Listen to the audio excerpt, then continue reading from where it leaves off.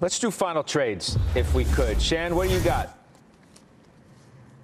MLM. So uh, infrastructure trade, aggregates, as well as uh, cement construction in Texas. Um, they are certainly going to benefit from infrastructure, which we've already seen in the stock, but there's still some opportunity here to add. All right, good stuff. Bryn?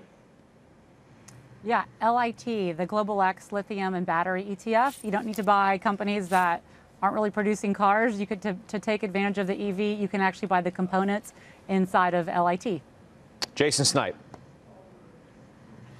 Palo Alto, a lot of growth in the cybersecurity space. You know, they've done a lot of spending this year that I think is behind them, that's preparing them for future growth.